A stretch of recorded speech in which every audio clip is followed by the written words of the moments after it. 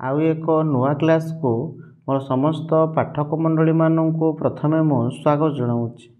ଆଜି ଆମେ ରାମଶଙ୍କର ରାୟଙ୍କ ଜୀବନୀ ସମ୍ପର୍କରେ ଆଲୋଚନା କରିବା। ରାମଶଙ୍କର ରାୟ ଅଠରଶହ ସତାବନ ମସିହା ମଇ ମାସ ପଚିଶ ତାରିଖ ଦିନ ଜନ୍ମଗ୍ରହଣ କରିଥିଲେ ଓ ଉଣେଇଶହ ଏକତିରିଶ ମସିହା ସେପ୍ଟେମ୍ବର ମାସ ତେର ତାରିଖ ଦିନ ମୃତ୍ୟୁବରଣ କରିଥିଲେ।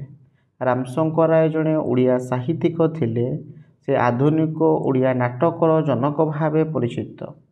ଅଠରଶହ ସତାବନ ମସିହା ଜ୍ୟେଷ୍ଠ ମାସ ଶୁକ୍ଳ ଦ୍ୱିତୀୟା ତିଥିରେ ସେ ଅସୁରେଶ୍ୱର ଅନ୍ତର୍ଗତ ଦୀକ୍ଷିତପଡ଼ାରେ ଏକ ସମ୍ଭ୍ରାନ୍ତ ପରିବାରରେ ଜନ୍ମ ନେଇଥିଲେ।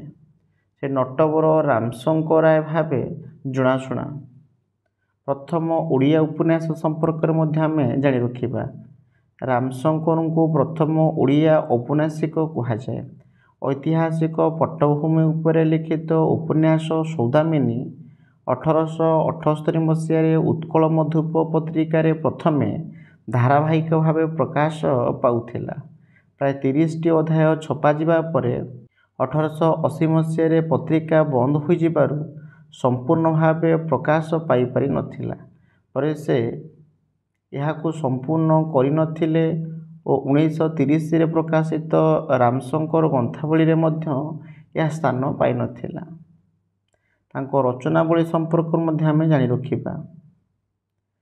ତାଙ୍କର ପ୍ରଥମ କାବ୍ୟ ପ୍ରେମତରୀ ଅଠରଶହ ଅଠସ୍ତରୀରେ ପ୍ରକାଶ ପାଇଥିଲା।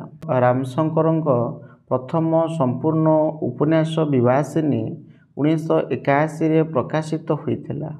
ଉମେଶ ଚନ୍ଦ୍ର ସରକାରଙ୍କ ପଦ୍ମମାଳୀ ଅଠରଶହ ଅଠାଅଶୀ ପରେ ଏହା ଦ୍ୱିତୀୟ ସମ୍ପୂର୍ଣ୍ଣ ଓଡ଼ିଆ ଉପନ୍ୟାସ। ସେ ବହୁ ନାଟକ ସୁଆଙ୍ଗ ଗୀତିନାଟ୍ୟ ଯାତ୍ରା ଆଦି ରଚନା କରି ଓଡ଼ିଆ ନାଟ୍ୟ ସାହିତ୍ୟକୁ ଏକ ସୁସଂଗଠିତ ବିଭାଗରେ ପରିଣତ କରିଥିଲେ। ତାଙ୍କର ପ୍ରଥମ ନାଟକ କାଞ୍ଚି କାବେରୀ। ଏହି ନାଟକକୁ ସେ ମଞ୍ଚସ୍ଥ ମଧ୍ୟ କରାଇଥିଲେ। ଏହାକୁ ନିର୍ଦ୍ଦେଶନା ଦେଇଥିଲେ ତାଙ୍କ ବଡ଼ ଭାଇ ଗୌରୀଶଙ୍କର ରାୟ। ରାମାଭିଷେକ ତାଙ୍କର ଶେଷ ନାଟକ ଥିଲା। କାଞ୍ଚି କାବେରୀ ଅଠରଶହ ଅଶୀ ମସିହାରେ ପ୍ରକାଶ ପାଇଥିଲା କାଞ୍ଚି ଅଭିଯାନ ପ୍ରସଙ୍ଗ ଆଧାରିତ ନାଟକ। ବନମାଳା ଅଠରଶହ ଏକାଅଶୀ ମସିହାରେ ପ୍ରକାଶ ପାଇଥିଲା ୱିଲିୟମ ସେକ୍ସପିୟରଙ୍କ ଦ ଟେମ୍ପେଷ୍ଟରେ ଆଧାରିତ ନାଟକ।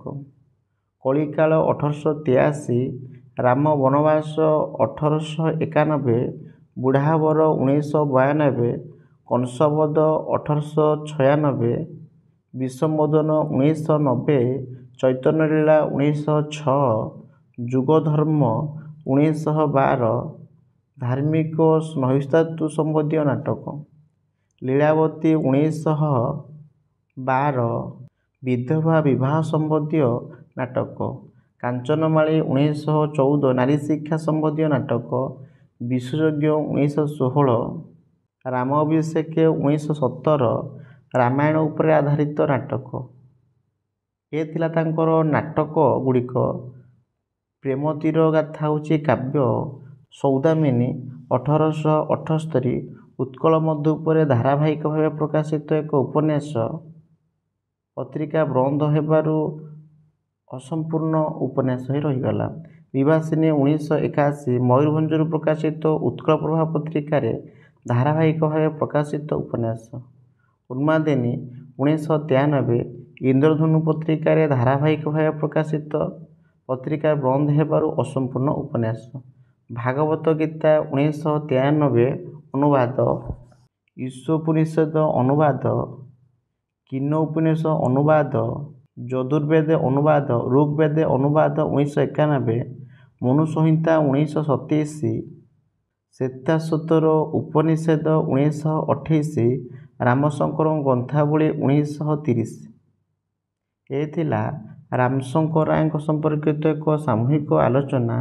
ଏ ଆଲୋଚନାଟି ଯଦି ପାଠକମାନଙ୍କୁ କିଛି ମାତ୍ରାରେ ସହଯୋଗ କରିପାରେ ତାହେଲେ ମୋ ଚ୍ୟାନେଲକୁ ସବସ୍କ୍ରାଇବ୍ କରିବେ ଲାଇକ୍ କରିବେ ସେୟାର କରିବେ ଏବଂ ନିଜସ୍ୱ ଅଭିମତ ନିଶ୍ଚିତ ଭାବରେ ପ୍ରଦାନ କରିବେ।